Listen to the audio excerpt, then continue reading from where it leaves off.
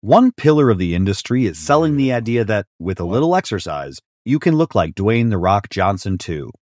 Achieving that look requires losing fat and gaining muscle.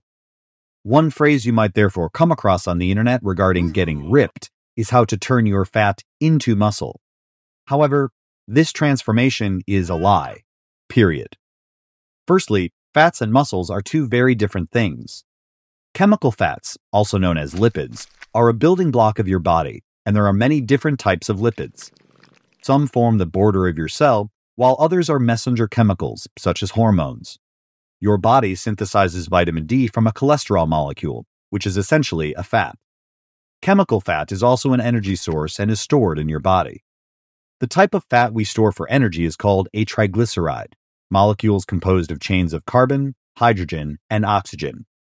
Muscles are made primarily of protein, and proteins are made from a string of amino acids.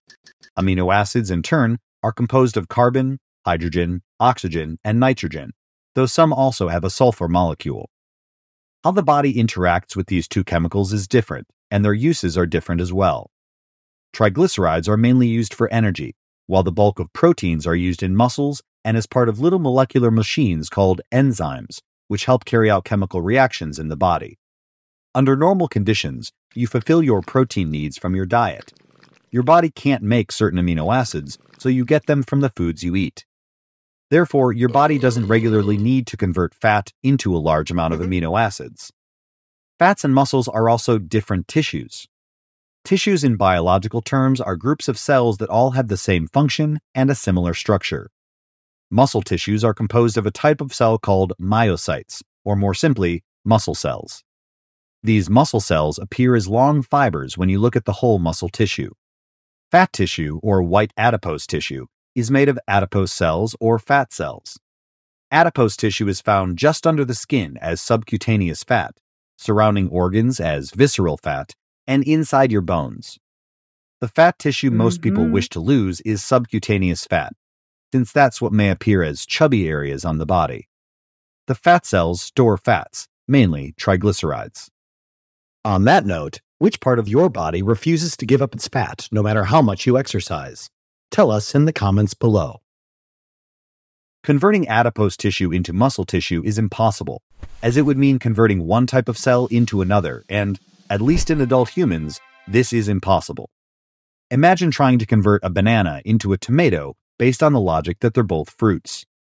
The cells of the muscles and the cells of adipose tissue are what scientists call terminally differentiated. Differentiation is a process by which a cell chooses a role in the body, like you might choose a career. Once cells make this choice, they can no longer revert to their undifferentiated stage. Once a muscle cell, always a muscle cell. Although you can't directly convert fats to muscles, What? you can burn fat while simultaneously gaining muscle. Burning fat essentially requires you to burn more calories than you consume. Your body's main source of calories are carbohydrates, such as glucose, and fats, such as triglycerides.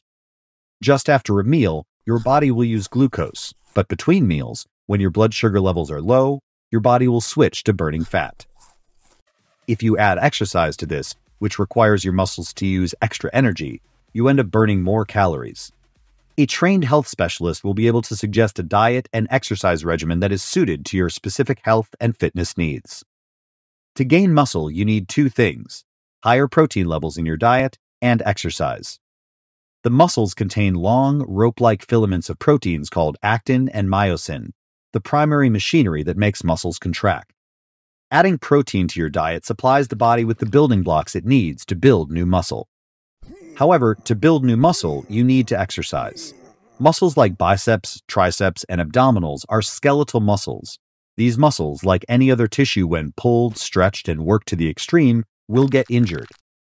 This damage to the muscles is repaired by special cells located in the muscle called satellite cells. These cells are muscle stem cells that help repair and remodel muscles. They also increase the size of the muscle, a process called muscle hypertrophy. That being said, muscle size is dependent on both your genes and your sex. Testosterone, found in higher quantities in males than in females, promotes muscle growth, which is why so many athletes and bodybuilders take steroid supplements.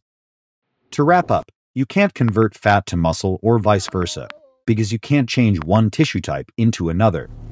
Furthermore, you can't gain as much muscle as the fat you lost, because these processes, once again, are not directly linked. Consistent exercising and managing your diet can aid in both of these processes. You'll have those abs you've always desired in no time at all. If you enjoyed this video, we'd love to hear from you in the comments section. Your feedback not only supports us, but also helps our channel reach more viewers and continue to grow.